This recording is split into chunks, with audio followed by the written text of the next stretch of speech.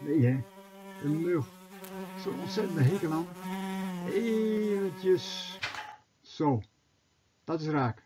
Die mug trouwens, die vloog met een constante snelheid in een cirkeltje. En daar gaan we het over hebben. De eenparige cirkelbeweging.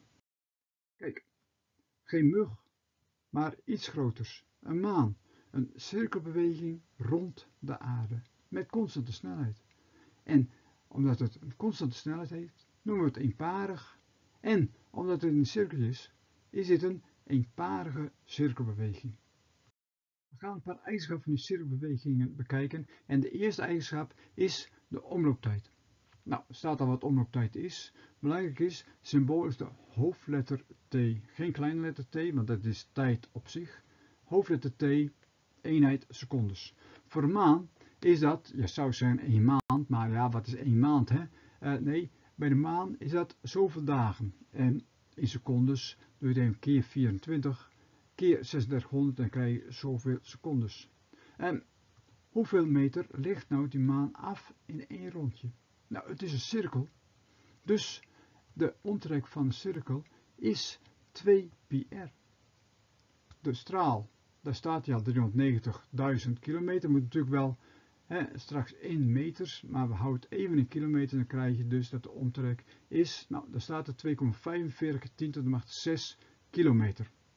Vervolgens kun je afvragen van, hé, hey, wat is dan de snelheid ervan? Nou, snelheid is natuurlijk altijd nog steeds afstand gedeeld tijd. De afstand, omtrek heb ik berekend. De tijd, omlooptijd heb ik ook berekend. Dus invullen die twee en dan krijg je een snelheid van, daar staat het, een 1000 meter per seconde ongeveer afgerond. Hè? Dus, oftewel per seconde gaat die maan 1 kilometer vooruit. Behoorlijk snel. Eh, die snelheid van een maan dat noemen we de baansnelheid. En hoe heb je dat berekend? Nou, de baansnelheid is dus omtrek 2 pi en delen door de omlooptijd gedeeld door hoofdletter t. Dus de baansnelheid, daar staat die, 2 pi gedeeld door t. De maan heeft dus een bepaalde baansnelheid. Maar behalve de grootte van de snelheid is ook de richting van belang. En die richting wijzigt iedere keer. Kijk, hij is nu zo. En nu is hij die kant op. En nu is hij die kant op. En nu is hij die kant op. Etcetera, etcetera.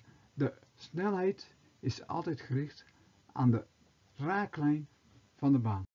En zo gaat het dus de maan rondjes om de aarde. Maar, maar waarom een rondje? Waarom je gewoon rechtdoor? Ja, zou kunnen hè. Maar dat is natuurlijk niet zo. Kijk, er is iets wat de maan dwingt om rond de aarde te gaan draaien. Oftewel, er is een kracht die hem naar binnen toetrekt.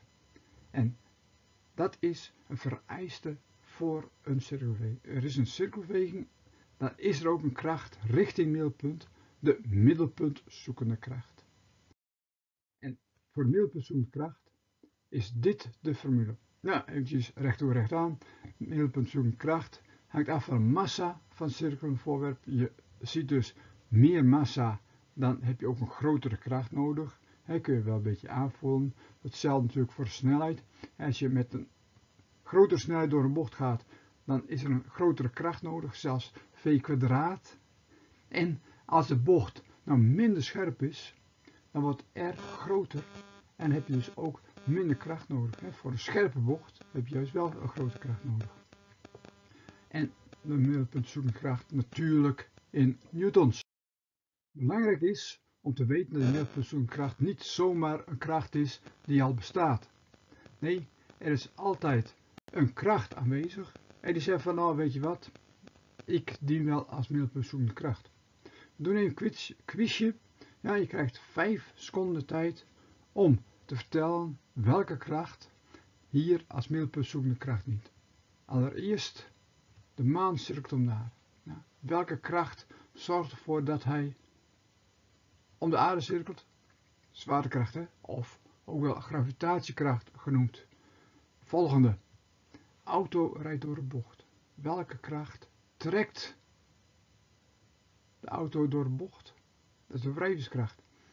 De kracht tussen de banden en het wegdek. Als het een super glad wegdek is, dan zal de auto gewoon rechtdoor gaan. Nou, dan is er geen wrijving. Volgende. De elektron rond de atoomkern. Ook een cirkelbeweging. Ja, wat is dit hier? Nou, je hebt de negatieve lading van het elektron, positieve kern en die trekken elkaar dus aan. En als laatste, wat heb je hier? Ja, massa aan koord. En de massa gaat een cirkelbeweging en dat komt door het koord natuurlijk. En de kracht in het koord wordt spankracht genoemd. Ja, nou, als het goed is, moet je er wel uitkomen nu. Hè? Over al die cirkeltjes en zo. En jawel hoor, kijk. We zijn eruit. Het is mooi geweest. Bedankt voor het horen en tot ziens.